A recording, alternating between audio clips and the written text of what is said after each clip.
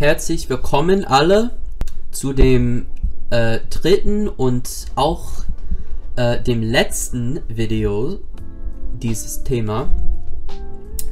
Äh, so, allerdings, Experten warnen vor Stigmatisierung und anstecken kann sich jeder. In Großbritannien wird ein dreijähriges Kind auf der Invest Intensivs Intensivstation behandelt. Die WHO arbeitet bereits an Leitlinien zur Eindämmung. Man befürchtet, dass die Zahl der Fälle in den Sommermonaten ansteigt. Bevor Bläschen auftreten, beginnen Affenpocken mit Symptomen wie Fieber und Schmerzen. Sie wurden ursprünglich nicht von Affen, sondern von Nagetiere übertragen. Erleben wir mit den aktuellen Affenpochenfällen einer Corona-Déjà-vu. Wieder wird über Impfungen diskutiert, über Quarantäne, über die Gefahr einer globalen Ausbreitung.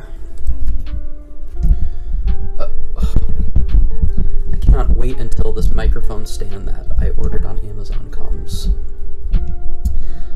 Cause this ain't it, Chief. Um, yeah, if you couldn't tell, this is a very low budget operation. Uh, but once that ad revenue comes in, we are going to be making some major upgrades to the studio. By studio, I mean, of course, uh, mein schönes Schlafzimmer. Natürlich. Also, so it says, um, that being said, experts warn of stigmatization.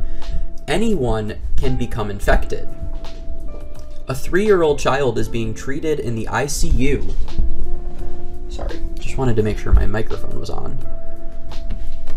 Um, a three year old child is being treated in the ICU.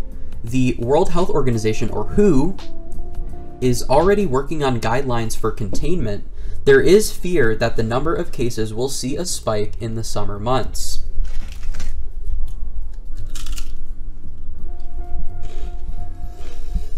Also, I think this is now going to um, be a dual language learning slash ASMR channel.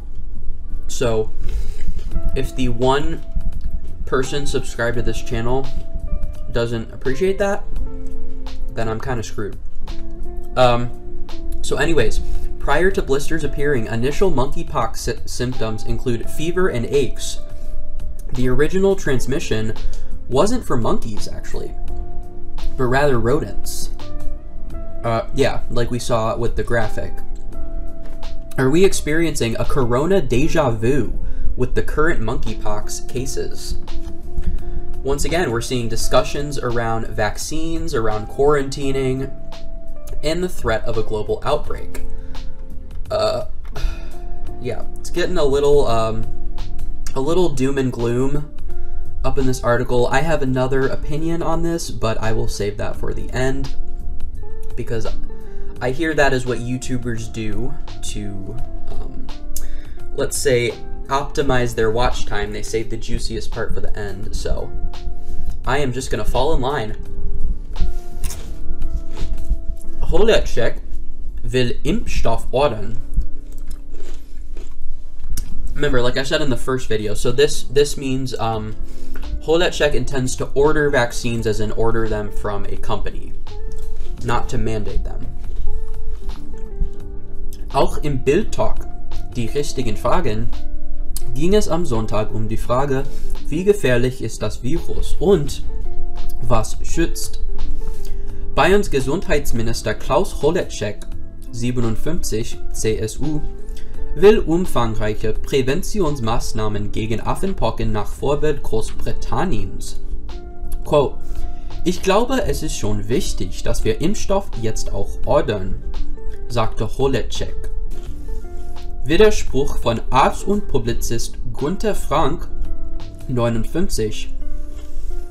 Die Aufgabe von Medizin sei, die Menschen zu informieren und quote, keine Panik zu schüren.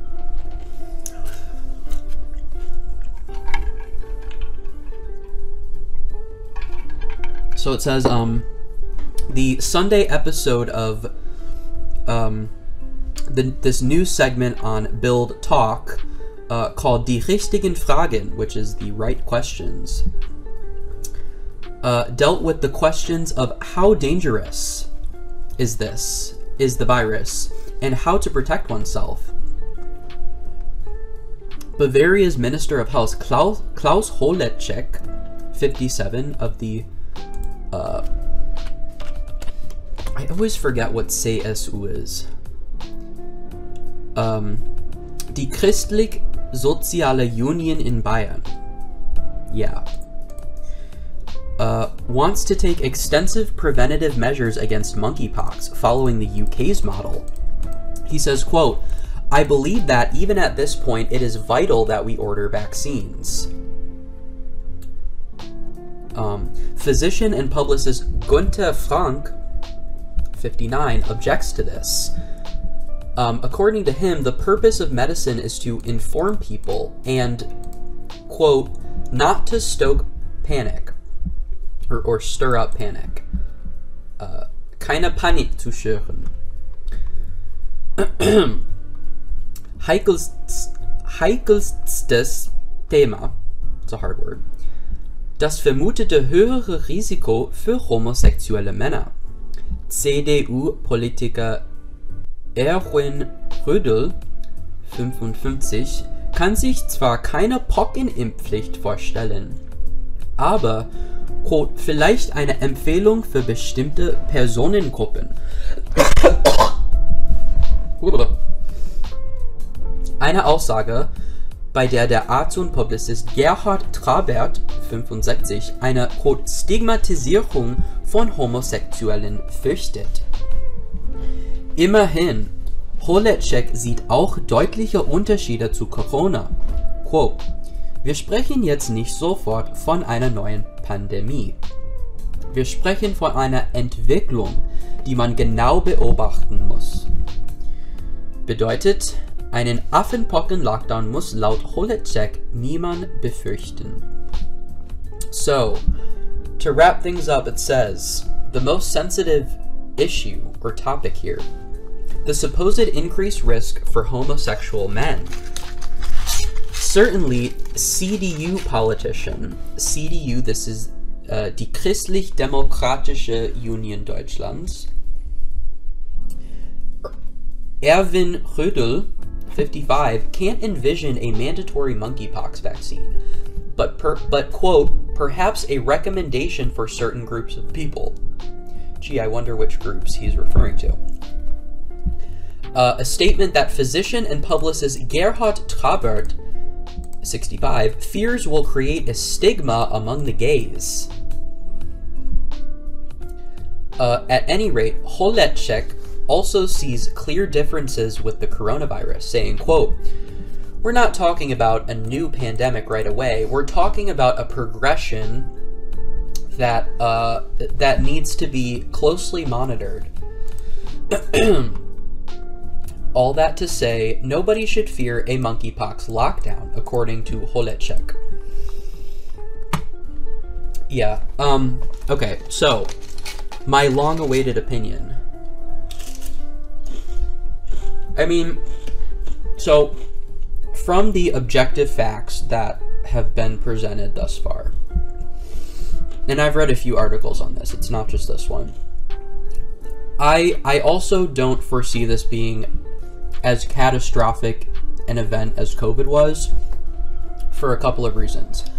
Um, first, as this graphic mentions, the smallpox vaccine is already 85% effective in protecting against monkeypox. Um, you know, I know that's not 100%, but but it that's a that's a pretty um that's a pretty solid percentage. Um and the thing is like with COVID, there was no vaccine at the outset of, of all that. We literally had to invent one. And it's a miracle that we were even able to pull that off with the expediency that we did. Um, and the second reason is it sounds like these countries that are um, seeing an outbreak of this are taking it extremely seriously. and I don't I don't want to say they're taking it too seriously because like I said after after COVID you really just don't know what can happen in this type of a situation. But I will say I think that COVID, you know, as devastating a situation as it was, it it really did teach us how to combat a, a brand new disease on a global level. You know, the whole the whole concept of like self quarantining and isolating and and wearing masks in public. You know, I don't want to say like all that wasn't a thing before COVID, um, because those those things have always existed, um, albeit on a much smaller scale and under much rarer circumstances. I would say, but you know, God forbid something like like that ever happens again. I think we've kind of learned how to deal with it. And not just deal with it, but how to take, you know, active measures to mitigate the spread of it. And um so like I said, I mean at this point I don't think this is as big a deal as some are making it out to be. In particular, I feel like um the American media is sort of sensationalizing this more than their European counterparts. And part of that is, I'm sure, driven by ratings and, you know, getting as many eyeballs on the screen for monetary gain, which is to be expected to some degree. But, I mean, like, look, the economy's already in the crapper right now. And should this virus spread to the extent that COVID did, which as I as I say again, I think is highly unlikely. But I mean, the economy isn't going to be able to take that. I mean, there's already so much turmoil. You know, we're we're on the heels of a recession, as some believe. Um, so, I mean, we'll just have to wait and see how this all pans out. But like I said, I don't think it's anything serious at this point. point, and you know, these countries are taking necessary preventative measures, it sounds like, to contain it before any, you know, widespread infection occurs. So, that's my take on that. Vielen Dank alle fürs Zuschauen. Auf Wiedersehen.